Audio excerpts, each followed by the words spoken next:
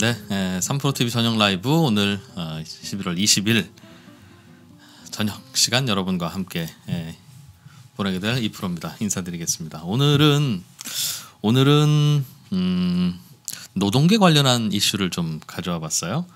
요즘 음, 주 52시간제가 이제 하나씩 그 대규모 기업들부터 하나하나 정착되고 있는데 내년부터는 직원 수가 50명 넘는 중소기업들은 모두 음, 52시간 근로제를 도입하기로 했다가 뭔가 계속 어, 보완책을 요구하기도 하고 어, 서로 논의할 거리가 좀 많아지고 있습니다. 그동안 뉴스를 꾸준히 보아오셨던 분들이나 이해관계자는 어떤 이야기인지 아실 텐데 또 많은 분들이 도대체 어떤 것 때문에 싸우고 있나 또 궁금해하실 것도 같고 요즘 스마트폰이 보급되면서 노동의 형태가 이제 특정 회사에 고용되거나 그 회사를 다니지 않고도 어, 노동력을 제공하고 또 노동력을 구입할 수 있는 세상이 되다 보니까 근본적으로 이 근로기준법 자체도 어, 흔들리는 것 같은 그런 생각도 듭니다. 오늘은 그래서 그 이야기까지 예, 노무 업무와 관한 전문가 한 분을 모셔서 어, 이야기 좀 나눠볼 거고요. 오늘 시장은 꽤 많이 빠졌었죠. 예, 오늘 그래서 오늘 시장에 영향을 주었던 이런저런 중요한 경제 뉴스들도 함께 에, 들어보겠습니다. 잠시 후에 돌아오겠습니다. 네, 오늘 한투증권의 박재영 차장님과 함께 오늘 있었던 중요한 경제 뉴스들 좀 살펴볼게요. 어, 어서 오십시오. 네, 안녕하십니까. 네. 한국투자증권 뱅키스 고예부 박재영입니다. 음, 오늘 시장 많이 빠졌네요, 그렇죠? 아, 뭐 진짜 어, 최근에 간만에 좀 이렇게 많이 하락을 한 것 같아요. 그 전에는 음. 좀 빠지다가 또 막판에 또 끌어올리고 끌어올리고 그래서 네. 어, 그나마 괜찮았는데 오늘은 시간이 지나면 지날수록 줄줄줄줄 막 이제 코스닥 같은 경우에는 한 시경부터 낙폭을 음. 갑자기 확 키워버리는 어, 생각보다 좀 무서운 시장이었습니다. 예상했던 것보다 이유가 어떻게 해석되고 있어요? 일단은 이제 무역 합의와 관련된 불안한 뉴스들이 나오면서 좀 흔들렸다라고 봐야 될 것 같아요. 지금 어제 미국 상원에서 홍콩 인권법이 통과됐다라는 음. 이제 뉴스가 있었는데 중국이 굉장히 이게 중국이 가장 싫어하는 것 중에 하나거든요. 일국 양제인데 이제 홍콩도 이제 중국인데 미국 니들이 왜 그러냐 내정 음. 간섭하지 말아라 이렇게 좀 신경질적인 반응이 나왔어요. 예. 그래서 아마 이게 좀 영향을 준 것이 아닌가 생각되거든요. 이 홍콩 인권법이 미국 상원을 만장일치로 통과했습니다. 법의 내용이 어떤 게 주로 있죠? 이 홍콩은 이제 중국과 좀 다른 대우를 음. 받고 있거든요. 네. 그 내용이에요. 그래서 중국이랑 이제 민주화 상태가 다르기 때문에 홍콩은 조금 더 인정을 해주는 거죠. 특별지위 여부를 지속하는지 이를 음. 결정하는 거거든요. 이 특별지위라는 것은 이제 홍콩은 중국과 달리 관세, 무역, 비자 이런 데서 특별 대우를 받고 있는데 미국으로부터 그렇죠. 아, 아. 특별 대우를 예. 받고 있는데 요거를 이제 없앨 것이냐. 그리고 이 홍콩 인권법에는 홍콩의 기본적 자유를 억압한 데 책임이 있는 인사들에 대한 음. 비자 발급이라든지 네. 어, 미국 내 자산 동결 이런 내용들이 담겨 있기 때문에 예. 좀 민감한 사항이 될 수 있어요. 그리고 뭐 중국 자체가 이런 걸 싫어하죠. 음. 이게 홍콩이 우리나라인데 왜 니들이 이래라 저래라 하냐. 음. 그래서 굉장히 좀 민감해하는 상황인데. 그러니까 홍콩의 홍콩과 미국 사이에는 어떤 특별 관계가 중국 네. 미국 사이보다 좀 더 특혜를 주는 게 있는데 네. 그거를 인질로 또는 볼모로 네. 홍콩 인권법 안에다가 홍콩에게 이런 혜택을 계속 줄 건지 말 건지를 이런저런 항목을 보고 네. 우리는 결정한다라는 네. 미국의 규정이 네. 미국에서 법제화되고 있다는 거죠. 그렇죠. 음. 그런데 이게 사실 하원 통과했을 때도 사실 문제가 됐는데 음. 이게 갑작스럽게 나온 뉴스는 아니에요. 갑작스럽게 나온 뉴스는 아닌데 오늘 시장에 좀 크게 반응을 음. 한것 같고요. 네. 트럼프 대통령이 10일 안에 서명을 하거나 거부를 하거나 결정을 해야 됩니다. 예. 10일이라고 하면 이제 10월 말 정도가 12월 11월 말 정도가 될 텐데 음. 아마 12월 3일경에 무역 협상을 할 것이다라고 지금 시장에서는 예측되고 있거든요. 음. 어떻게 보면 이거는 사실 트럼프 이제 상원에서 통과됐다라는 것은 공화당이 통과시켰다라는 건데 트럼프 대통령이랑 한마디 상의도 없이 통과시켰을까? 혹은 트럼프 대통령이 막으려면 막을 수도 있지 않았을까 이런 음. 생각을 좀 해봐야 되는데 네. 트럼프 대통령 같은 경우에는 카드를 하나 더 진 셈이죠.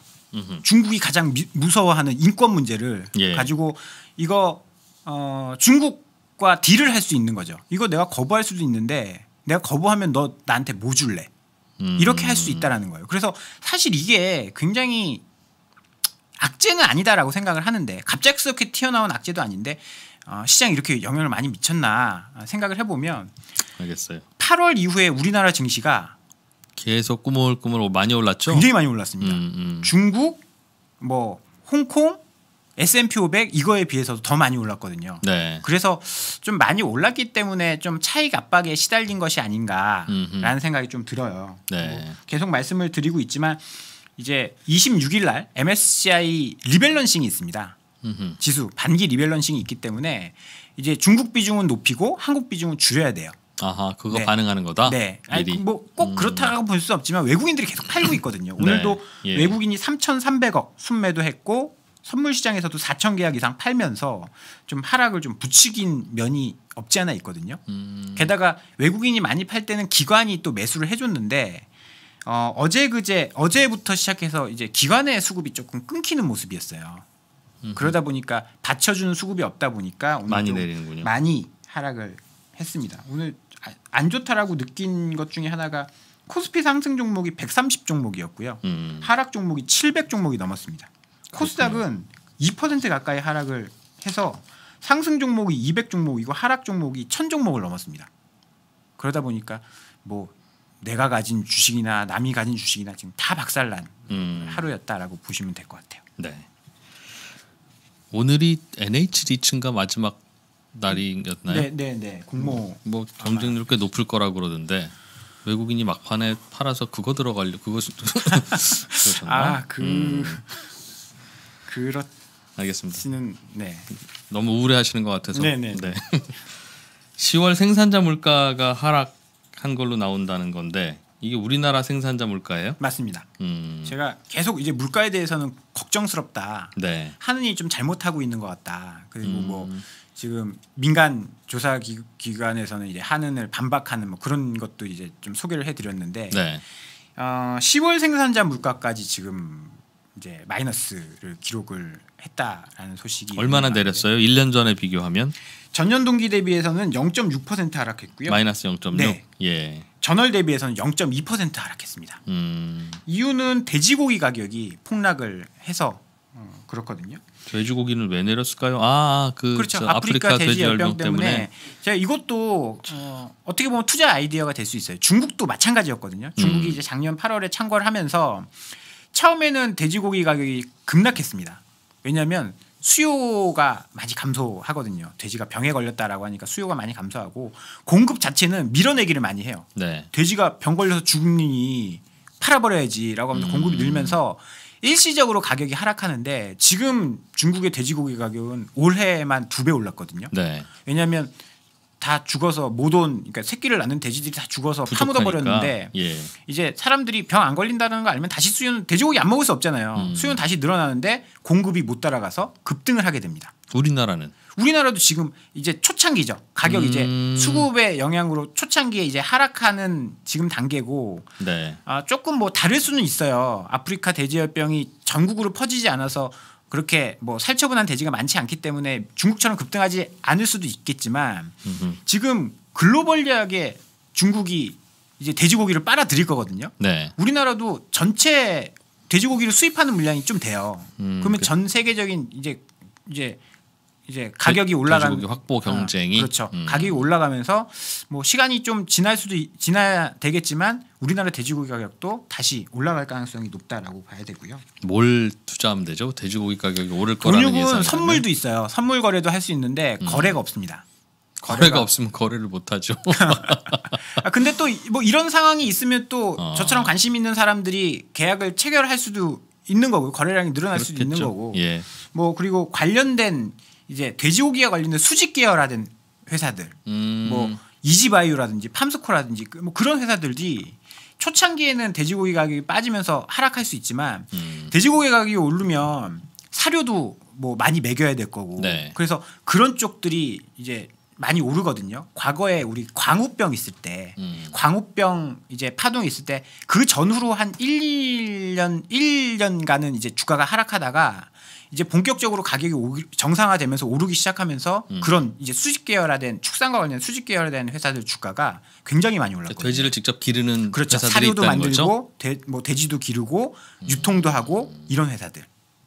알겠어요. 근데 지금 당장의 문제는 아니기 때문에 사료 회사의 매출이 늘어날지는 모르겠습니다. 그거는 돼지의 양이 많아져야 늘어나는 거라서 그렇죠. 근데 이제 많이 돼지가 귀해지니까 오히려 그렇죠. 많이 키우고 많이 먹일 테니까 음, 사료 회사도 좋아질 수 있겠죠. 처음에는 뭐 돼지가 많이 죽어서 없어질 수도 있는데. 점점 더 많이 기르니까 네. 음, 알겠어요. 네.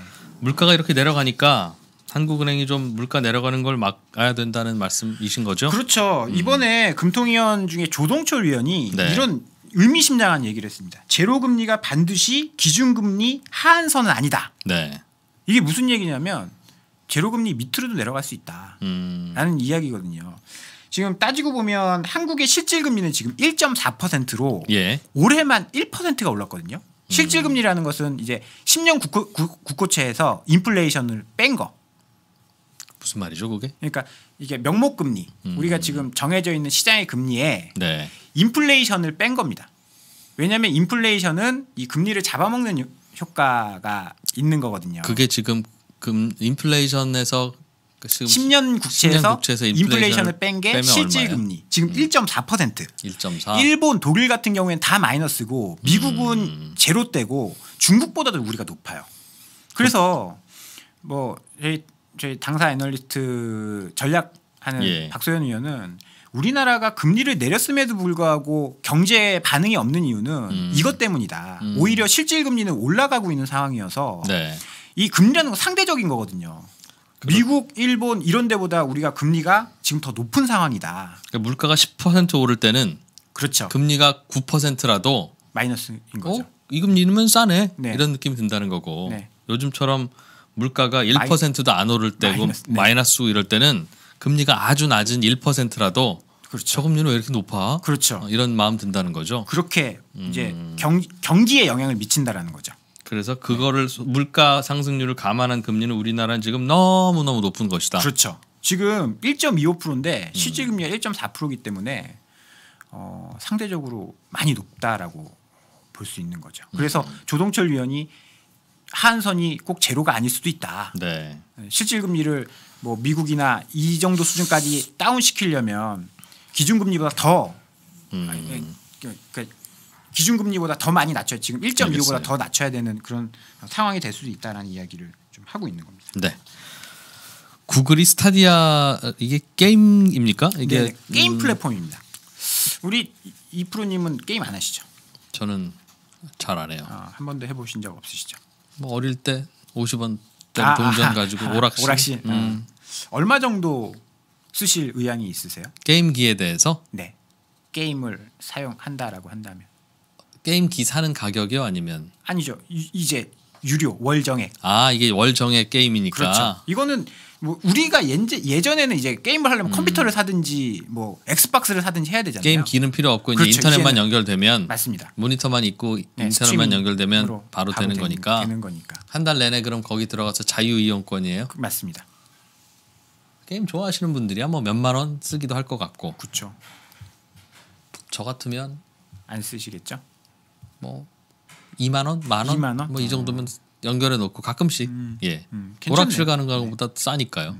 구글 스테디아가 이제 유료 버전 이제 공개를 했는데 월 이용료가 9.99달러라고 합니다. 음, 한 우리 돈으로 한 12,000원 정도? 12,000원 정도? 네, 근데 뭐 거의 대부분 월 정액이 이 정도인 것 같아요. 넷플릭스도 한 달 이제 9달러거든요. 네. 9달러니까 뭐 이 정도 한 만 원 정도 가격이 문제가 아니라 얼마나 좋으냐 이게 항상 걱정되는 게 기계에서 바로 바로 하는 거면 반응이 바로 바로 할 테니까 쏘면 바로 총알 네네. 나가고 해야 되는데 이거는 쏜다고 해서 딱 당기면 내 음, 네트워크. 트래픽 때문에 한 1초 후에 나가고 그러면 5G에서는 굉장히 잘 된다라고 하는데 음. 네. 어제 이제 시연할 때도 약간의 지연은 있었다라고 해요. 근데 어. 그게 막 아, 막 못하겠다 이 정도는 아니었다라고 하고요. 이건 음. 차차 이제 개선이 될 문제다라고 하고 어제 22개의 게임이 공개가 됐는데 2020년 지금 개발 중인 게 450개라고 합니다. 예 2020년도에는 이 450개를 다 공개한다라고 하는데 이거 하나 들어 만 원 내고 들어가면 그렇죠. 음, 다 하는 450개. 거 네. 게임의 Netflix네요. 그렇죠. 음. 그래서 이 플랫폼들이 계속 이제 나올 건데 음. 소니 그, 그, 뭐 소니 이런 데도 이제 개발을 할 거고 나올 예. 건데 그러면 게임 산업이 우리나라가 사실 과거에 게임 산업 강국이었거든요. 음, 컨텐츠 이러면 Stadia에 들어갈 게임이 필요하니까 네. 게임 IP를 가지고 있는 뭐 NC라든지 넥슨이라든지 이런 쪽에는 수혜를 받을 수 있는 그런 음흠. 이벤트가 되는 거죠. 네. 왜냐하면 그 안을 채워야 되는데 그 안에 채울 경쟁력을 가진 기업들이 예전엔 한국에 많았었는데 음. 지금은 좀 많이 경쟁력을 잃어가고 있는 상황인 것 같습니다. 이거는 하죠. 그러면 집에 컴퓨터는 있었는데 네. 그동안 게임기는 없었던 분들도 그 게임기에서 할 수. 있는 컴- 걸 컴퓨터에서 할 수 있게 된다는 뜻이에요. 그렇죠. 어휴. 결국 그럼 시간을 이걸로 더 쓰게 된다는 거고 사람들이. 그렇지 않을까요? 그럼 뭐 다양한 피해 기업들이 있겠네요. 드라마 제작사부터 시작해서 뭐 어, 신과 함께도 몹쓸 물건이네요. 아, 저는 저는 살짝 기대를 하고 있습니다. 음. 가끔 이제 게임 같은 거 해서 네. 지금 NC 소프트 리니지 2 M도 제가 사전 그 해놨거든요. 음. 그래서 빨리 나와서 한번 좀 해보고 이것도 그러게요. 한번 해봤습니다. 아직 한국에는 출시는 안 됐습니다. 음. 14개 국가에만 먼저 이제 됐고 한국에 네. 나오면 또 한번 해볼 계획입니다. 그렇군요. 또 세상의 변화를 이렇게 덕분에 읽을 수 있었어요. 고맙습니다. 네, 음, 감사합니다. 한투증권 뱅키스 고객부의 박재영 차장이었습니다. 네, 예, 퇴근길 페이지 2 어, 들으시고 계시는 혹은 시청하고 계시는 지금 시각은 오후 6시 23분 음, 지나고 있습니다.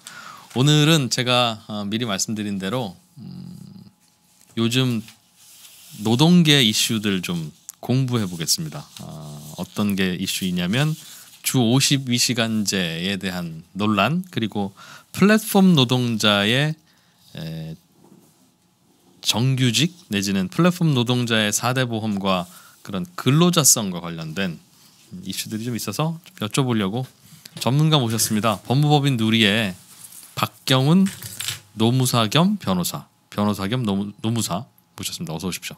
반갑습니다. 안녕하세요. 안녕하세요. 그 긴장이 되셔서 머리가 쭉 뼈쓰신 겁니까? 아니면 헤어스타일이? 아, 제가 그 한 5년 전에 미용실을 갔는데 네. 미용사도 전문가잖아요. 예. 손님은 이마를 최대한 노출을 시켜라. 음. 그런 일종의 컨설팅을 받고 아, 그 미용사로부터 네, 그 이후로 이 스타일을 고수를 하고 있습니다. 이거 아침에 그럼 뭔가 스프레이가 좀 필요하시겠어요? 약간의 작업이 좀 필요하죠. 마음에 안 드시나요? 천재지변이 발생해서 뭐 사업장을 복구를 해야 된다. 아. 이런 경우까지 제한을 하면 안 되잖아요. 그건 그거 네. 그거야 우리가 이제 평소에 네. 생각할 일은 아니니까 일반적으로는 안 된다 이거죠. 52시간. 52시간을 절대 넘어서는 안 된다. 그 어떤 일이 있더라도 예외가 있긴 있습니다. 뭐 뒤에도 나오겠지만 뭐 탄력적 근로시간제 등을 포함한 유형 근로시간제 하에서는 음. 일정한 예외가 인정되기는 합니다. 알겠어요. 그러니까 52시간제라고 하는 건 과거에는 52시간보다도 더 많이 일 시키고 수당 주면 그렇죠. 되는 거였는데 이제는 수당 아니라 수당 할아버지를 줘도 52시간 이상은 하지 말아라. 넘기지 말라. 라는 게 52시간제 근로제군요. 맞습니다. 음. 그런데 이거를 도입을 하려고 하니까 아니 언- 우리 저희 기업은 선풍기 만드는 회사라서 봄 여름 되기 전에 바짝 야근 열심히 해야 되고 그렇죠. 그 대신 겨울에는 안 팔리니까 네.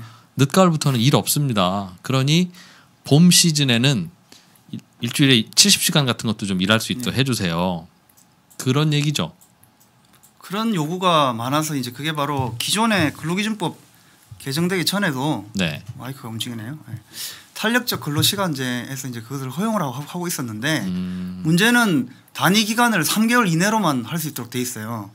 아 과거에도 이거? 그건 가능했었는데 근데 반으로 예를 들어서 3개월 중에 반은 일을 많이 하고 반을 적게 한다고 해도 한 달 반밖에 안 되잖아요. 그러면 네. 여름은 6, 7, 8, 9까지 되는데 부족하다 음. 이거죠 단위 기간이. 음. 그래서 그걸 늘리자 뭐 이런 논의가 계속 되고 있습니다. 알겠어요. 그거는 그러니까 3개월 안에는 평균 평균해서, 네. 50, 어, 떤 주가 70시간을 했으면 네. 또 다른 주는 평균을 해서 52를 그렇죠. 맞춰야 돼요? 52를 맞추는 겁니까? 40을 40 시간을 맞춰. 40 맞추는 거죠? 평균 40을 맞추고 거기에 추가로 12시간은 연장 근로 할 수 있는 거죠. 할 수는 있는 거고. 그러니까 어느 주는 40시간을 초과해서 예를 들어서 50시간을 일하고 네. 거기에도 연장 근로 12시간 할 수 있으니까 뭐 예. 62시간 최대는 52 플러스 12 해서 64시간까지 할 수 있는 거죠. 알겠어요. 음, 그렇게 할 수 있도록 네. 그 정확히 좀 한번 저도 잘 몰라서 다시 한번 여쭤볼게요. 그럼 탄력 근로제라는 건 어, 탄력적으로 일은 할 수 있도록 해주는 네. 그렇죠. 것인데 어떤 주에 예를 들면 70시간을 일했어요. 네. 탄력 기간이 두 주일 동안은 평균 맞추라는 거라고 가정을 해보면 2주 단위도 있긴 있습니다. 이렇겠죠. 어떤 주를 70시간 일했으면 다음 주에는 몇 시간 일해야 됩니까? 70시간을 할 수가 없죠. 최, 최대가 64니까. 64시간을 일했어요. 네네. 그러면 다음 주는 쉽게 얘기하면 104가 돼야 되니까 네. 104 빼기 74면은 64. 30, 네, 64면 40시간이네요. 아. 그렇게 해야 되는 거죠. 그러면 그 40시간인 주는 예. 어, 원래 근로해야 될 시간이 28시간밖에 안 되는데 거기도 연장 근로를 해서 10일을 더해서 40시간까지 할 수 있다는 거죠. 그러니까 전체적인 근로 시간이 확 늘어나는 거죠. 음, 탄력 그 근로제를 하면 일을 많이 하는 주는 음, 그렇죠. 그거는 이제 52시간을 초과하는 예외가 될 수 있죠. 그런데 이제 문제는 그게 네. 3개월 단위로 범위가 좁다 보니까 뭐 계절적 말씀하신 선분기를 넉 달 동안 만들어야 되는데 음, 한달 반밖에 못 만들잖아요. 나머지 한. 달 반은 쉬- 쉬어서 아무튼 그렇죠. 쉬거나 근로 시간을 줄여야 되는데 전체 평균은 주당 그래서 이제 52시로 경영계에서는 탄력적 근로 시간제 단위 기간을 1년까지 늘려달라. 네. 6개월 바짝 일하고 6개월은 조금 하겠다. 음. 그럼 어느 정도 계절적 수요가 다 충족이 되니까 네. 그런 요구가 있는 것이죠. 그런데 그, 그런 설명에서 6개월 바짝이라고 나머지 6개월은 좀 느슨하게 일하겠다. 네. 그게 과거에도 해왔던 방식이잖아요. 근데 너무 바짝 일할 때 이건 너무 야근 많이 하는 거 아니야? 라는 생각으로 주 52시간 이상은 하지 말자는 얘기를 시작한 건 옛날에도? 그렇게 많이 했는데 예. 옛날에는 근로자들도 어, 바짝 일을 많이 하면 힘들지만 시간의 근로수당이 부과돼서 나오기 때문에 네. 돈이 많이 들어오지만 음. 지금은 이제 우리나라 선진국으로 가면서 꼭뭐 일을 많이 해서 돈을 많이 버는 것보다는 요새 뭐 워라벨이라고 많이 영어로 약칭을 하잖아요. 음. 삶과 사생활을 균형 있게 집에 가서 애도 좀 보고 네. 그리고 뭐 부인이 맨날 늦게 들어온다고 바지 그러는데 일찍 가서 외식도 하고 이런 걸 하기 위해서는 네. 근로 시간을 줄이지 않으면 안 된다. 그러니까 뭐 돈 많이 벌어 가지고 밤 12시에 야 야식하, 외식하러 가자 이러면은 집에서 안 좋아할 거 아니에요. 예. 6시에 들어가서 외식을 해야지. 네. 쉽게 얘기하면 이제 그런 쪽으로 바꿔야 된다 이거죠. 어 그렇죠. 그 취지에 대해서는 다들 뭐 동감도 하고 아마 그렇게 되는 세상을 싫어하는 사람은 없을 텐데. 어, 그런데 이제 현실이 네. 어, 그 중소기업 특히 중소기업은 구인난이나 여러 가지 문제 때문에 음. 받쳐주지 못하는 데서 여러 가지 잡음이 나오고 있는 것이죠. 그래서 과거에는 그러니까 과거와 이제 앞으로 우리가 하려는 게 어떻게 차이 나는지를 좀 배워보려고 네. 여쭙는 거예요. 과거에는 주 52시간제가 아니었을 때는 네. 바쁠 때는 야근 많이 하고 그 대신 야근 수당, 휴일 수당 주고 한가할 때는 뭐 야근 별로 안 하고 이제 그런 구조였는데 그때도 제 기억에도 앞으로는 탄력 근로제를 하면 네. 그러니까 주 52시간제를 하되 탄력 근로제까지 같이 세트로 하자는 게 기업 측 요구 아니겠습니까? 그렇죠. 그 기간을 늘려가지고 다 늘려서. 그러니까 6개월이나 기업들은 1년 원하더군요. 최대 1년을 원하죠. 그러니까 봄, 봄 여름은 바짝이라고 그렇죠. 가을 겨울은 선서 설, 네. 어, 슬슬 일해서 예를 들면 그렇습니다. 전체 평균을 주당 52시간으로 맞추겠다는 거죠. 그럼 예전에도 봄 여름은 바짝이라고 가을 겨울은 선- 설설 슬슬 일했던 에어컨 회사나 선풍기 회사 같은 경우는 1년짜리 탄력 근로제를 하면 결국은 같아지는 겁니까? 아니면 그런데 그 경우에도 작년에 법 개정 전에는 토일 18시간을 플러스 할 수가 있었잖아요. 네. 근데 지금 그게 없어지니까 탄력 근로제를 하더라도 네. 근로 시간 자체가 상대적으로 줄어드는 건 맞죠. 하게 되더라도 그렇죠. 왜냐하면 맞, 주당 52시간은 맞춰야 되니까 토일을 포함을 시켜 버리니까 그러면 근로자들이 받는 수당을 포함해서 연봉은 줄어들겠네요. 탄력 근로제를 1년짜리를 해서 하더라도 근로 시간이 줄어들면 당연히 당연히 그렇겠죠. 임금이 감소되게 돼 있겠죠. 아, 그럼 쉽게 얘기하면 이겁니까? 예전에는 휴일 수당, 야근 수당으로 일을 더하면 수당으로 주던 걸 앞으로는 일을 더 할 수는 있는데 늦게 출근하는 걸로 혹은 회사를 안 나오는 걸로 쉬는 시간으로 돈을 주- 그 수당을 주겠다 그런 개념입니까? 그거는 법 개정 전에도 가능했고요. 예. 근로자하고 합의를, 합의를 하면, 하면, 개정하고 네. 관계가 없는 거고요. 지금 우리 어, 신과 함께입니까 프로그램? 네. 이진우 예. 신님이라고 불러야 되나요? 2%라고 부릅니다. 아, 프로님. 예. 네. 신은 2% 신은 지금 박 변호사님이 신이에요. 아, 나오는 출연자 네, 신입니까? 그럽니다. 그렇습니다. 부담스러운데. 우리 이 프로님께서 이제 말씀하시는 것은 이제 그 유연 근로 시간제 중에 선택적 예. 근로 시간제라고 있어요. 음, 자기가 출퇴근 시간을 자유롭게 정하는 이제 그런 게 오히려 더 가까울 수가 있겠죠. 음, 그- 그런 건 과거에도 네, 있었다. 과거에도 있었습니다. 앞으로도 그렇게 한다는 뜻인가요? 앞으로도 뭐 그렇게 할 수는 있는데 예. 근로 시간을 절대적인 근로 시간 제한이 있기 때문에 그렇게 한다고 하더라도 음, 그 제한을 벗어나기는 어렵죠.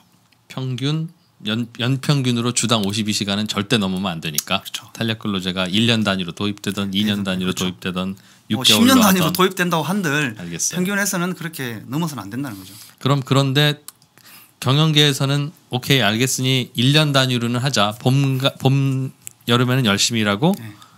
가을 겨울에는 많이 쉬는 걸로 해서 평균 52시간 맞춰주면 되는 걸로 하자는 게 기업의 요구고 네.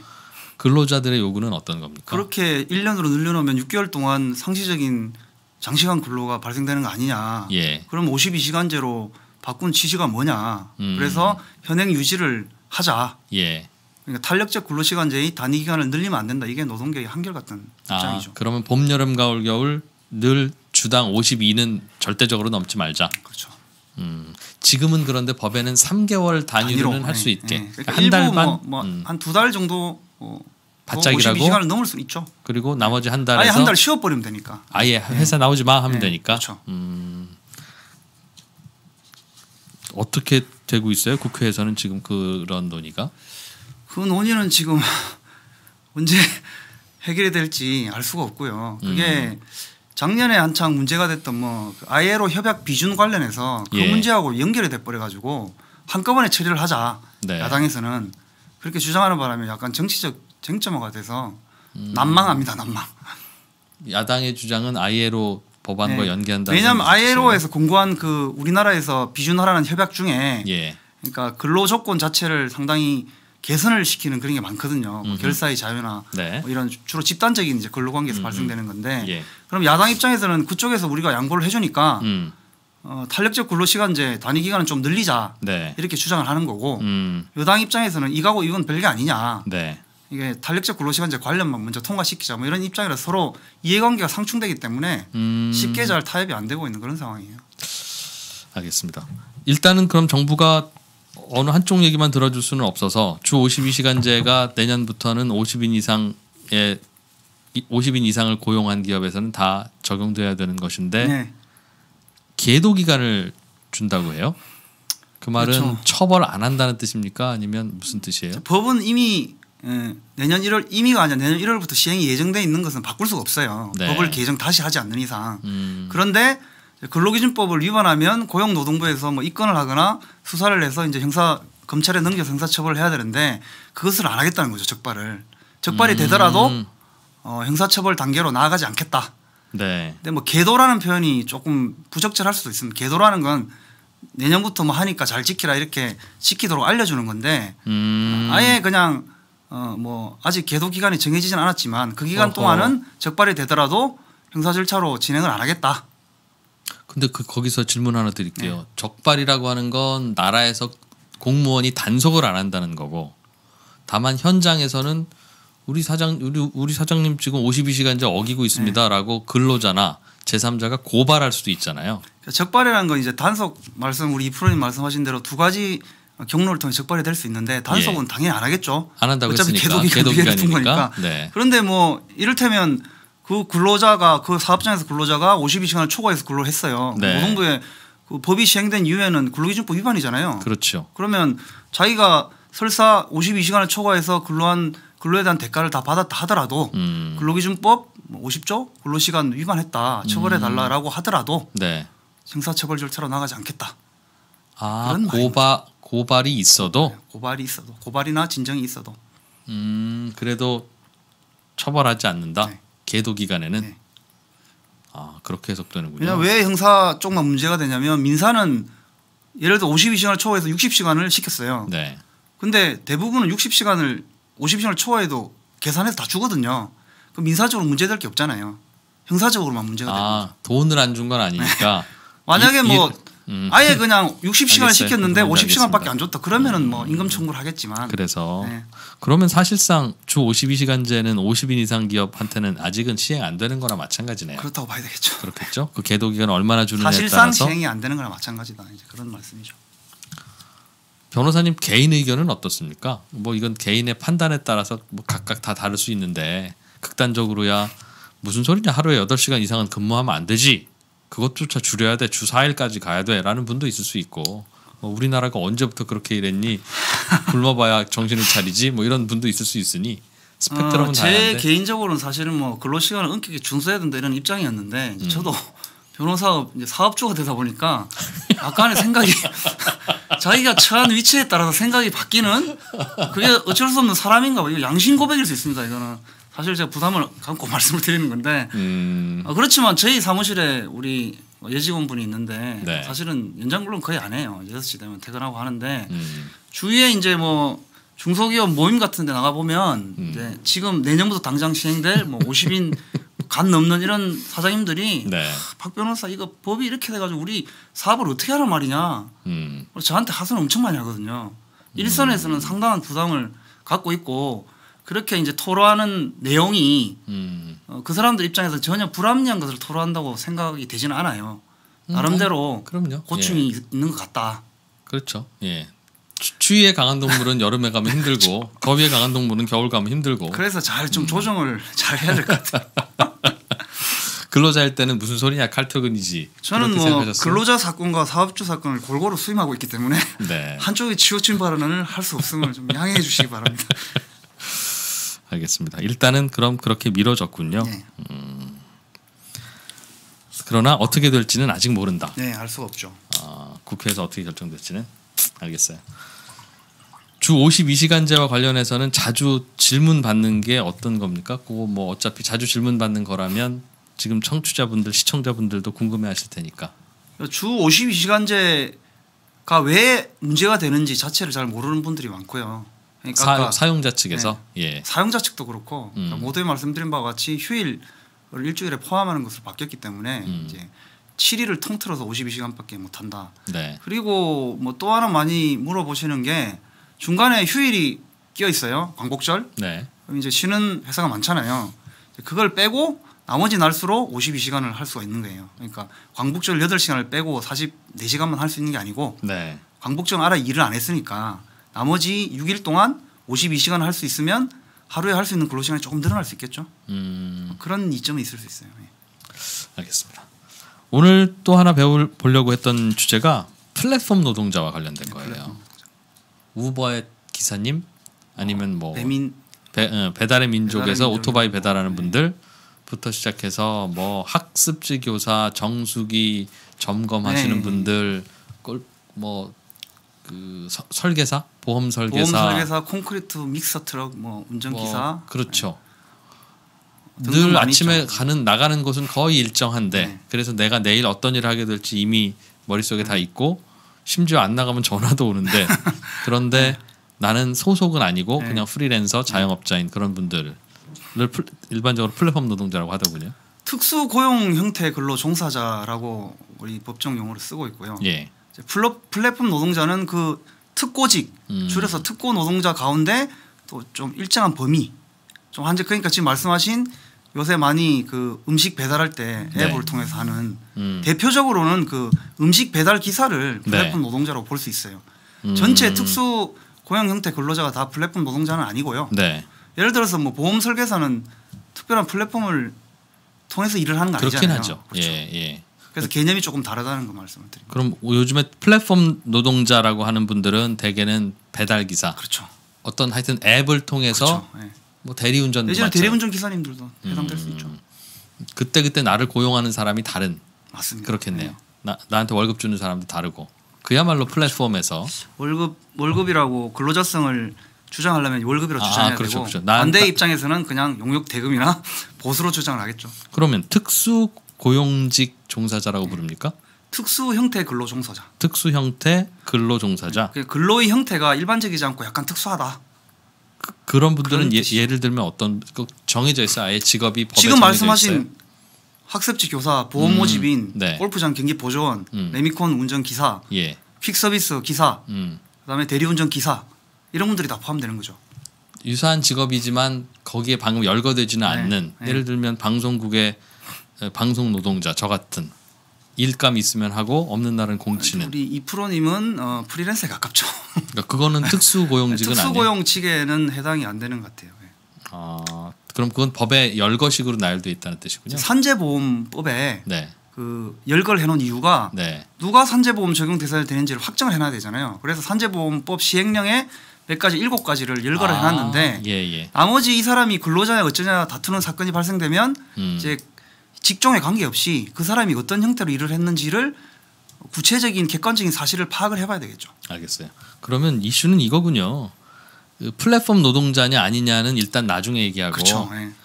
방금 말씀하셨던 특수, 특수, 네. 형태 근로자, 맞습니다. 어, 심지어 법에도 열거되어 네. 나열되어 있다는 학습지 교사, 네. 뭐 골프장 캐디, 거기에 뭐 배달 기사 뭐 있나 보죠. 어, 일, 많이 많이 있죠. 한 일곱 개 정도 나열되어 있다고 하니까 그분들은 4대 보험을 아무도 안 해주죠. 어, 지금 산재보험 시행령에 나열되어 있는 일곱 개 직종 종사자는 산재보험에 가입할 수 있어요. 산재보험에만 네, 산재 왜냐하면 다른 보험보다는 다른 보험은 이제 건강이나 국민은 지역 가입자로도 할 수 있잖아요. 예. 근데 산재보험은 지역 가입이라는 게 없기 때문에 말 음. 그대로 당연히 일하면서 다치는 거니까 네. 산재보험은 이제 보호의 필요성이 크잖아요. 음. 나중에 다치거나 사망을 하면 누군가 보상을 해줘야 되니까. 그래서 그분들을 보호하기 위해서 어, 얼마 전에 법이 개정돼서 그분들을 음. 시행령이죠 정확히는 시행령이 개정돼서 그분들을 어, 산재보험 가입 대상으로 넣어놨는데 네. 문제는 또 나는 적용받기 싫다 스스로 적용 제외를 신청할 수 있도록 돼 있어요.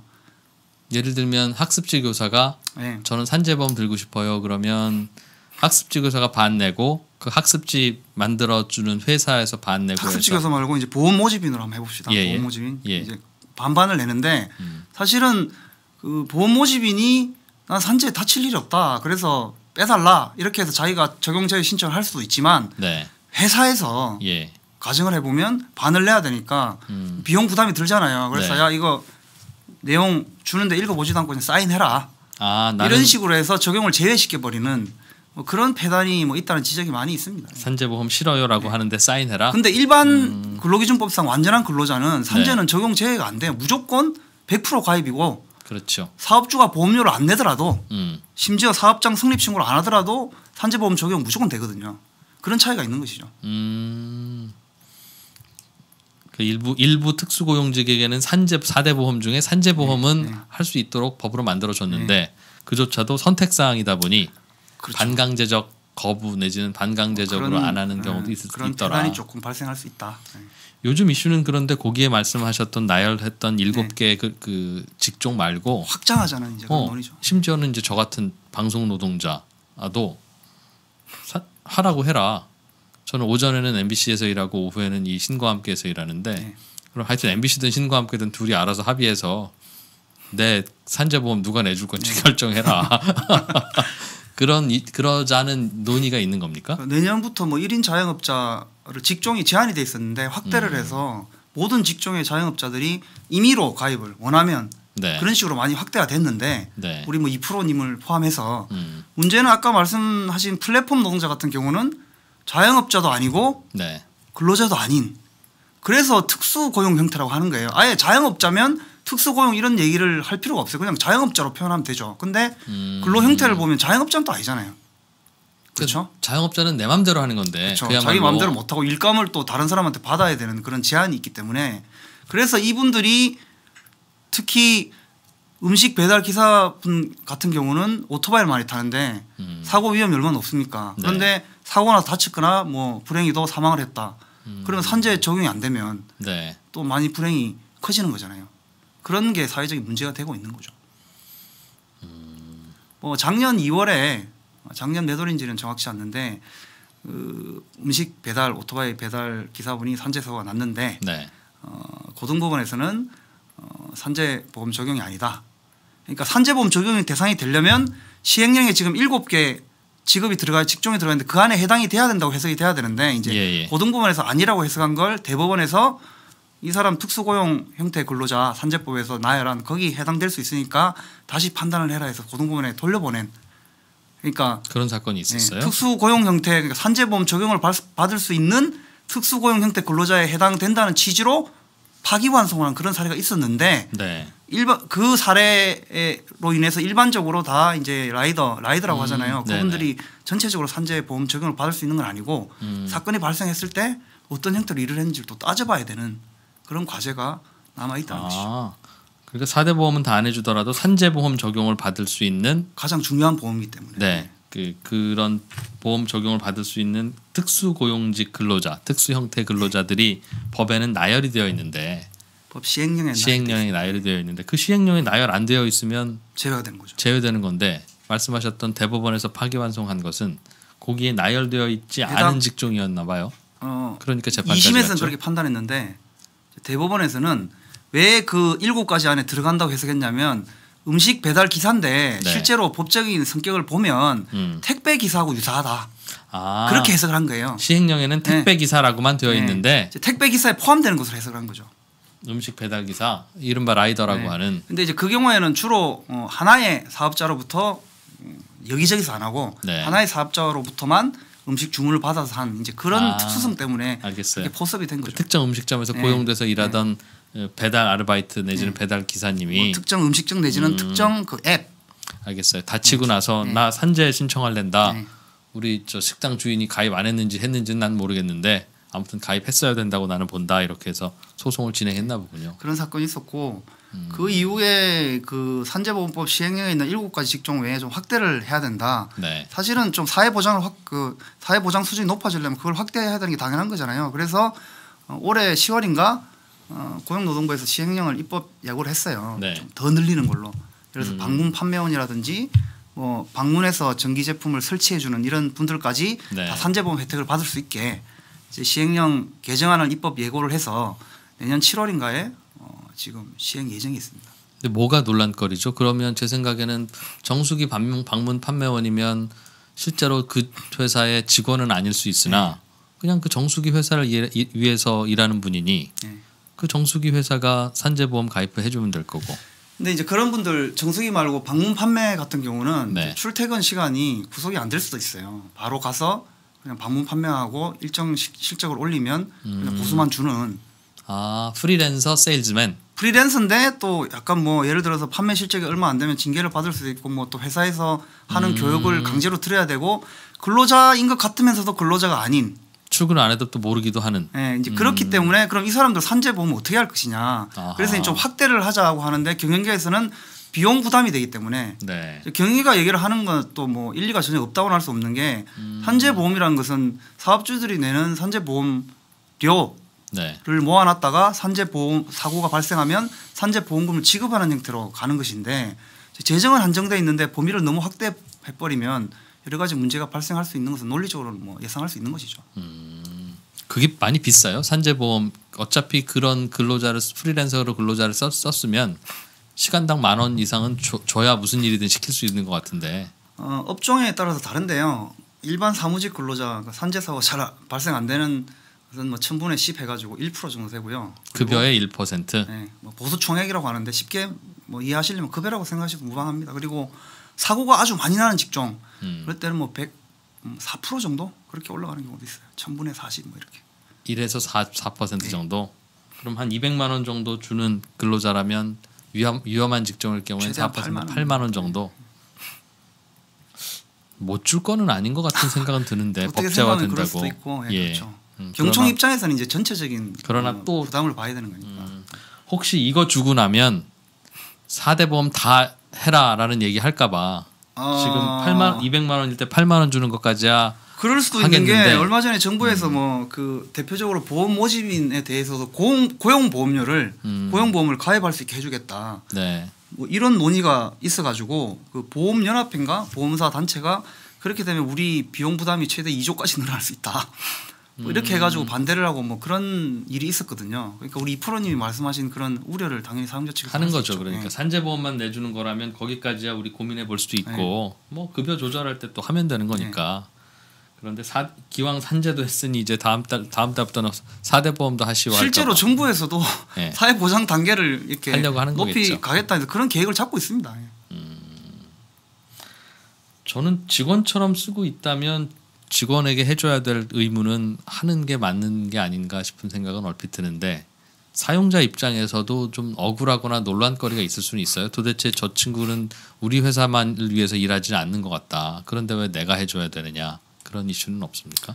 뭐 이 프로님이 말씀하신 대로 근로 자기가 근로자처럼 사용하고 있으면 당연히 음. 근로기준법이나 뭐 관련 법에서 보장하도록 돼 있는 거는 해줘야 되는데 네, 어, 이를테면 확대 범위를 그렇지 않은 것까지 이제 확대를 한다면 문제가 될 수는 있죠.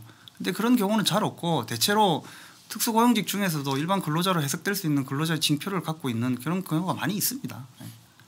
그건 어떡하죠? 그럼 정말 플랫폼 노동자는 예를 들면 라이더 같은 경우엔 라이더나 대리운전 기사도 그렇고요. 뭐 앱을 보고 있다가 띡 뜨면 오케이 누르고 네. 내가 가는 거잖아요.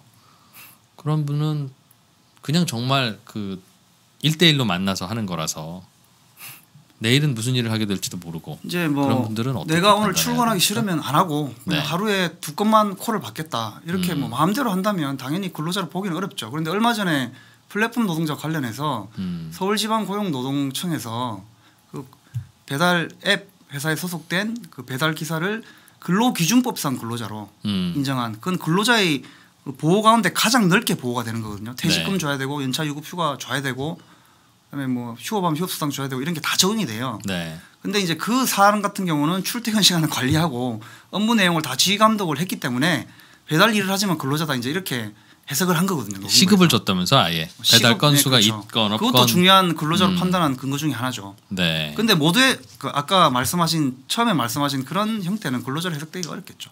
음, 그럼 앞으로는 이런 근로자들이 많이 늘어날 텐데 그때 그때 매번 사안에 따라서 이 당신한테 일감을 주는 회사가 당신한테 일을 어떤 식으로 주느냐. 지휘 감독을 하느냐. 네. 어, 혹시 당신이 오늘 출근 안 하면 아무런 문제가 없느냐, 네. 아니면 뭐 피해를 받거나 네. 혹은 잔소리를 하느냐, 혹은 작업을 일일이 다 이렇게 지시하느냐 이런 거를 일- 매번 따져야 되는 문제가 그렇습니다. 있겠군요. 사건이 발생하면 법원에서 그러니까 근로자인지 여부를 판단하는 그 대법원이 확립한 사용 종속 관계 판단 기준이 한 10개 정도 되는데 네. 지금 말씀하신 근로시간과 장소에 구속을 받느냐 아니면 뭐 작업 도구를 회사가 제공하느냐 다른 네. 사람을 대체해서 할 수 있느냐 네. 그다음에 손실을 근로자가 스스로 부담하느냐 뭐 이런 등등 여러 가지 판단 기준을 종합적으로 고려해서 음. 근로자성이 있다 없다를 판단하도록 그렇게 되어 있어요. 알겠어요. 그런데 지금은 이런 법이 엄격한 줄 모르고 그냥 매번 출석도 부르고 아, 김 누구 씨 왜 어제는 안 나오셨어요? 오늘 좀 잘해주세요라고 하든가 일일이 그렇게 했던 기업들도 뭔가 그런 조건에 따라서는 자칫하면 이거 직원으로 채용해야 되는 상황이 와요. 그러면 솔직히 사업주 입장에서는 지휘 감독은 하고 싶잖아요, 솔직히. 그렇죠. 일을 그래야 일이. 되니까. 예. 지휘 감독은 하고 싶으면서도 노동관계법상의 의무를 부담하면 비용이 올라가니까 그거는 회피하고 싶은 그런 유혹이 당연히 있는 거거든요. 네. 그런 데서 이런 문제가 다 발생이 되는 겁니다. 그래서 걱정하는 건 당연히 기업가라면 뭐 제가 기업가라도 그런 생각은 들 텐데 입장 바뀌면 근데 그럴 때 지휘 감독은 그럼 안 하는 걸로 바꿀 수 있잖아요. 그러면서 수일 있죠. 자체를 네. 콜이 가면 그 콜에 대해서 뭐 반드시 몇 분 안에 하시고 뭐 등등 하는 거를 다 세트로 막 묶어서 그냥 이걸 하라고 던지는 겁니다. 이럴 경우에는 근데 참 그렇게 논란거리가 이론, 있을 수 적으로는 할수 있겠어요. 있는데 예를 예. 들어서 만약에 근로자 그 예를 들어 라이더들 자율에 완전 다 맡겨 버렸다. 이거 뭐 음. 이거는 그냥 가정을 해보는 건데 네. 그러면 뭐 크리스마스 같은 날 음. 누가 그 배달하고 하고 싶겠어요. 네. 여자친구 데이트하고 싶지. 그러면 콜이 들어와도 또 크리스마스 때는 배달 건수가 늘어나거든요. 네. 소화가 안 돼서 앱 업체들 문을 닫아버려야 돼요. 그렇죠. 그런 현실적인 문제 때문에 이런 아. 상황이 발생이 되는 거예요. 그래서 저도 라이더분하고 이야기를 하면서 네. 느꼈던 건 그럴 때 어떡합니까 질문을 드렸더니 우리나라 그 라이더 네트워크 앱은 그럴 때 벌금을 매기거나 출근하라고 전화를 하거나 뭐 그때 안 나오면 뭐 일정 기간 일을 못 하게 하거나 그런 식으로 punishment를 한다. 그렇죠. 그래서 그게 근로기준법에 보면 취업 규칙이라는 게 있어요. 네. 쉽게 얘기하면 복무 규정 같은 건데 그에 적용을 받는다는 거거든요. 그렇죠. 그래서 근로자성이 어느 정도 인정이 음. 될수 있는 여지를 남겨둔다는 거죠. 그런데 그래서 그럼 어떻게 해야 돼요? 여쭸더니 그 라이더 분께서 그러지 말고 크리스마스 같은 날은 한 건당 2만 원, 한 건당 3만 올려가지고. 원 그런 식으로 될 때까지 올려라. 그리고 크리스마스 날 치킨 시켜 먹는 분은 한 5만 원씩 내는 아, 걸로. 돈을 더 내라. 어. 안 되면 할 수 없는 걸로. 어, 이제 그렇게 그렇게 되면 어 어떤 특정한 분야의 문제를 해결하려다가 다른 분야에 또 문제를 발생을 시키는 어. 그러면 5만 원 주고 치킨을 치킨 먹으라 그러면은 네. 소비자들이 가만 안 있을 거 아니에요. 근데 저는 그자 그 점에 대해서는 네. 뭐제 생각 말씀드린 건 아니지만 크리스마스 때 시켜 먹으려면 비싼 거 아닙니까? 뭐 그렇게 어 시즌에 네. 시켜 먹으려면은 어 내가 비용을 부담하겠다 할 수 있지만 또 음. 예. 그 고비용을 부담 못하는 소비자도 또 있을 수 있으니까. 있을 수 있죠. 네. 이제 그럴 때는 그러니까 누구나 크리스마스 때는 일 안 하고 싶은 건 당연하니까 거기에 대해서는 그래도 일을 하게 하려면 움직일 만큼의 돈은 줘야 자발적으로 움직일 만큼의 돈은 줘야지. 저도 크리스마스 달, 달 방송하기 싫지만 예를 들면 많이 준다고 하면 여자친구하고 합의해서 우리 26일 날 놀자. 그렇게 할 수도 있지 않을까요? 아무튼 오늘 그래서 오늘 뭐 수요일 가정의 날인데 저 여기 방송하러 왔는데 방송료 좀 더 주는 겁니까? 왜 노무사님 섭외해가지고 그렇군요. 어, 개인적인 생각은 네. 어떠세요? 어, 이 문제를 그럼 이 플랫폼 노동과 관련해서는 어떻게 좀 풀어야 된다고 보십니까? 이게 지금 사회적인 어, 음. 변화 추세에 의해 가지고 플랫폼 노동자라는 신조어가 사실은 나온 건데 네, 어, 말씀하신 뭐 그런 것도 해결책이 될 수 있겠지만 좀 사각지대를 해소하는 음, 법의 보호를 못 받는 음, 특수 고용직 근로자들이 있는 사각지대를 좁히는 게 사회보장 국가로서 해야 될 일이거든요. 그래서 그렇죠. 예. 산재보험은 특히 음, 범위를 좀 많이 확대를 시켜야 되고요. 음, 물론 뭐 고용보험 등등 이렇게 확대해 나가야 되는 분야도 있겠지만 그리고 어뭐 사업주 분들도 근로자로 인정을 안 하려면 지휘 감독을 역시 하지 말고 하지 말든가. 그리고 음, 예를 들어서 아주 돌발적인 상황에 대비를 하고 싶으면 그러면 직고용을 한 근로자를 한 두세 명 뭐 고용을 한다든지 음, 그러면 어느 정도는 해결이 되잖아요. 직접 아, 고용한 크리스마스 근로자니까. 때는 그렇죠. 음, 아예 크리스마스 때는 아예 일당으로 어떻게 주는 그런 그 배달 기사를 네. 그렇게 하든지? 뭐 현실적으로 뭐 어려울 수는 있겠지만 쉽지 않을 겁니다. 그런 네. 부분으로 절충을 하는 수밖에 없습니다. 이게 좀 답을 내기가 상당히 어려운 그런 분야입니다. 지금 우리나라의 관행으로는 많은 사업주가 어, 이거는 직원이다. 산재보험도 가입해줘야 되고 심지어 사대 보험 퇴직금까지도 줘야 된다는 쪽에 판단을 받을 수 있다는 노동법. 전문가들이 뭐 머리를 맞대고 있는데 아직 뭐 뚜렷한 해결책이 안 나오는데 제가 해결책을 내놓으면 저는 정부로 갈 수 있죠. 상당히 어려운 문제입니다. 음, 변호사님도 아직 특별한 답은 예, 좀 어려운 문제 같아요. 아니요.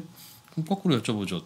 근로자들을 위주로 하면 되지 않습니까? 우리나라는 사업주는 사, 사대보험도 해줘야죠. 네. 기왕 여러 가지 비용이 들잖아요. 그래서 사업하는 분들은 왜 국가가 해야 되는 일을 기업한테 자꾸 떠맡기느냐라고 하긴 하지만 어차피 하는 게 있으니 네.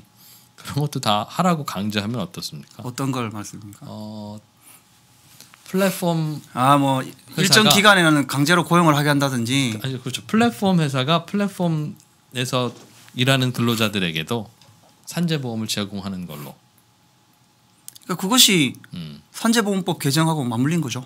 산재보험법 시행령을 개정해 버리면 돼요. 아 그렇게. 예, 근데 일거에 확대하기에는 여러 가지 또 사업주들 반발도 있고 정부에서도 그런 목소리를 무시하기는 어려운 거죠. 사업주 때문에. 네. 그럼 반대로 여쭤보죠.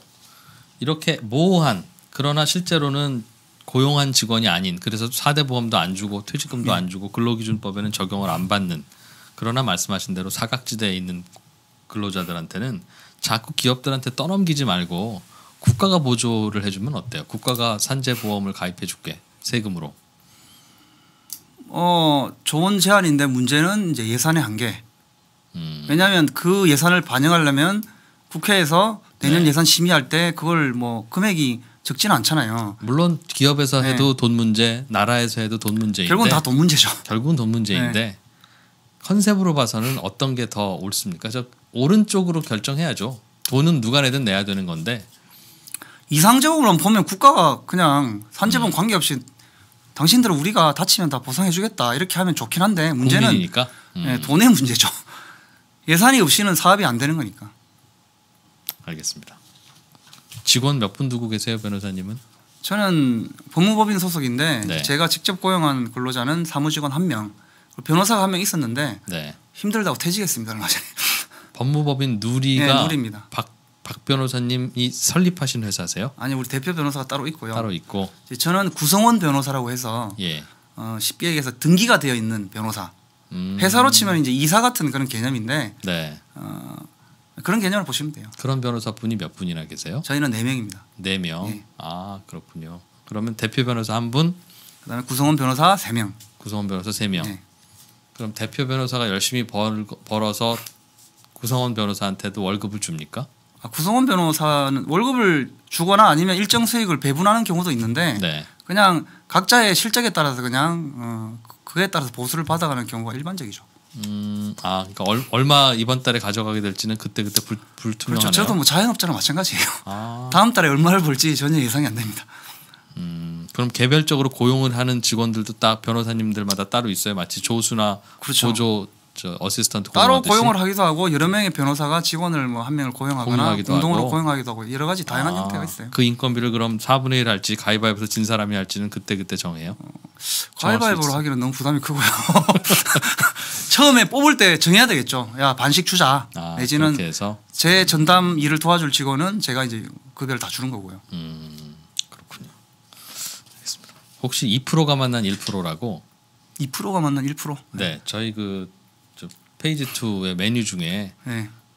사람들이 궁금해할 만한 직업 가진 분을 찾아가서 그 직업에 대해서 이것저것 여쭤보는 코너가 아, 있습니다. 그렇습니까? 예, 한번 저를 섭외를 지금 저한테 저- 네 청약을 하시는 겁니까? 예, 수요일 아닌 가정의 날 아닌 날로 아, 저희가 수요, 녹음 시간 예. 가능합니다. 이거 농담이고 요일에 구애받지 않고 우리 우리 이 프로님께서는 네 저하고 또 인연이 좀 있잖아요. 뭐 다른 손 잡히는 경제에서도 나와서 네, 손 경제에서 해주, 해주 셨죠. 하셨고 예, 근데 여기서 뵈니까 더 음. 편안하고 네, 그렇죠. 세 분 중에 뭐 이건 제가 개인적으로 말씀드리는 건데 이 네. 프로님께서 음. 가장 저한테는 인지도가 높은 분이시고 아, 또 아, 네. 유일하게 음. 나한 시력이 제일 높으신 분, 높은 분. 나안 시력? 나안 시력. 아, 안경- 두사 두두 맨눈 맨눈 시력. 두 프로는 안경 두 분은 안경 거죠? 쓰셨으니까 그게 뭐 중요합니까? 제가 의미를 그냥 만드는 거예요. 그런 식으로. 죄송합니다. 의미를 부여할 걸 많이 만들어 드렸어야 되는데 2% 칭찬은 하고 싶은데 도대체 떠오르는 건 없고 제가 그렇군요. 알겠습니다. 자 오늘 퇴근길 페이지 네. 2 오늘은 음, 최근에 근로자들 어, 노동계 이슈와 관련해서 주 52시간제와 또 플랫폼 노동 종사자의 산재보험 문제를 배워봤습니다. 어떻게 어떤 이슈로 다투고 있고 어떻게 돌아가는지 대강 감은 잡으시게 됐을 것 같아요. 저도 많이 배웠고요. 예, 예. 예. 법무법인 누리의 박경훈 노무사 겸 변호사님과 함께 했습니다. 다음번에도 궁금한 점 있으면 모실게요. 예, 고맙습니다. 네, 가정의 날 피해서 모시겠습니다. 네, 퇴근길 페이지 2 오늘은 여기서 어, 정리하죠. 어, 실시간 채팅창에서 또 저희와 함께 해주신 분들 감사합니다. 어, 저희는 내일 아침에 또 오늘 아침 페이지 2에서 어, 저희 동료 두 분이 진행하는 재미있는 시간 또 가져보겠습니다. 오늘은 여기서 마무리하죠. 고맙습니다. 이프로였습니다.